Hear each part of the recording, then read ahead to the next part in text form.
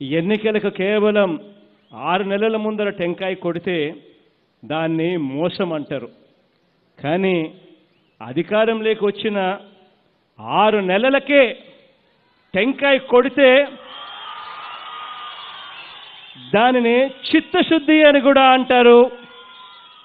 మూడేళ్ళ కాలంలోనే ఈ నిర్మాణం పూర్తి చేసి ఈ కర్మ కర్మాగారంతో ఇక్కడే అక్షరాల ప్రత్యక్షంగాను పరోక్షంగాను ఇరవై ఐదు వేల మందికి ఉద్యోగ అవకాశాలు వచ్చే పరిస్థితి క్రియేట్ అవుతుంది అని చెప్పి కూడా సగర్వంగా ఈ వేదిక మీద నుంచి తెలియజేస్తాం మనం ఎప్పటి నుంచో కూడా స్వప్నంగా ఎదురు చూస్తా ఉన్న ఈ స్టీల్ ప్లాంట్ను ఈరోజు మనం ఈరోజు ప్రారంభోత్సవం చేస్తా ఉన్నాం.